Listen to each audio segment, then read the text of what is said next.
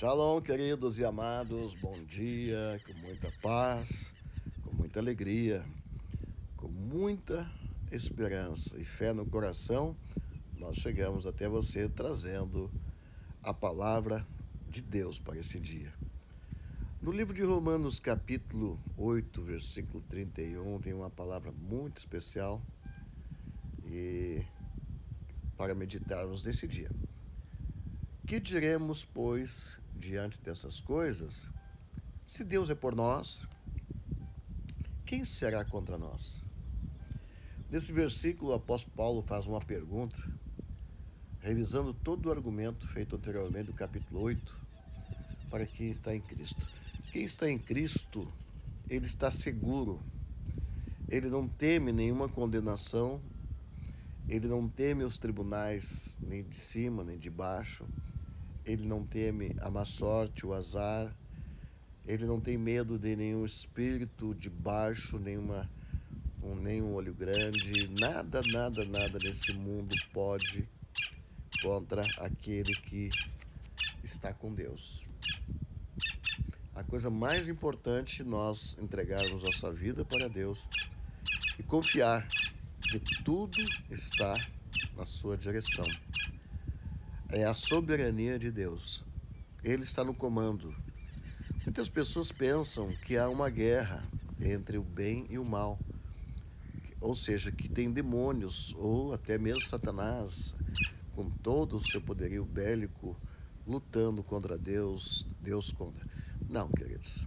Existe sim o mal, existe é, um ataque do mal contra as pessoas na terra, mas nem mesmo os demônios, nem mesmo os anjos caídos, ninguém pode fazer absolutamente nada sem a permissão de Deus.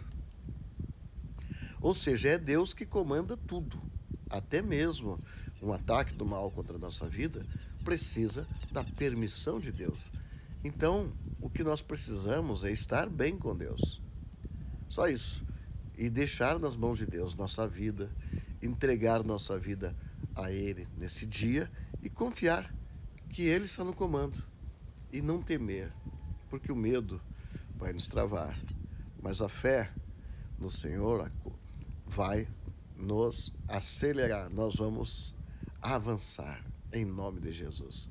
Com esta fé, quero orar junto com você nesse dia. Pai amado e poderoso Deus, em nome de Jesus, teu filho, eu quero te agradecer pela vida, porque estamos vivos hoje. O Senhor nos deu esta vida. O Senhor cuida de nós. O Senhor está conosco e por isso nós entregamos todas as lutas, toda a situação que vamos enfrentar nesse dia.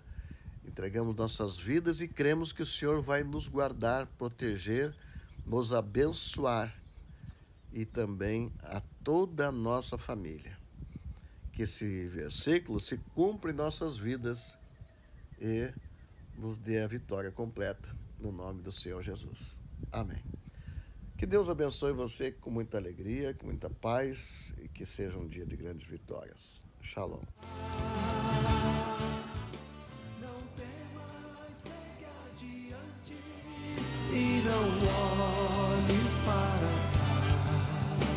Trás.